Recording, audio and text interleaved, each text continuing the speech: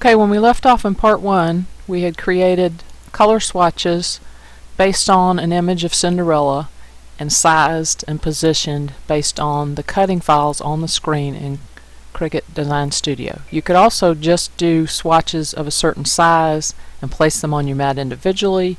You can also take any of these swatches when you're still in Paint and change those to RGB numbers. There's a lot of different ways you can do this to get the colors on your page. The reason I'm using Word is because it lets me print at exact size and position on the page much more easily than I could do so in Paint. If you have PSE or PSP or any of those programs and you know how to do this, then that's fine. I was trying to go with the lowest common denominator and a lot of people have Microsoft Word and of course everybody that has Windows has Paint. So anyway, when I left off, I was using this one inch square to resize this, move this size until this square, which I set at one inch in Word, matches this square, which was my reference one inch square from over in Cricut Design Studio. So I got that the right size. I don't need that square anymore.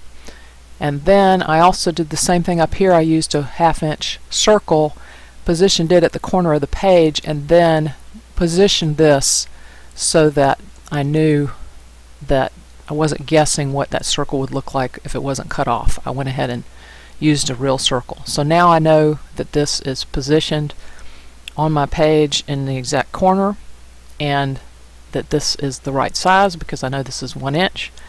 Now I can print this on my own inkjet printer and when I do that it may cut off part of this for the margin but that's fine that's not going to matter I will then take the corner of the paper, put it in the corner of my mat, the upper left corner where the, uh, the little T is, and if my Cricut is properly calibrated and um, done everything properly, then when this cuts, the proper pieces will fall in the proper color areas. You have some extra margin here so it doesn't have to be perfect and then you would just paper piece these and you would have a Cinderella in the colors that she was intended to be rendered in.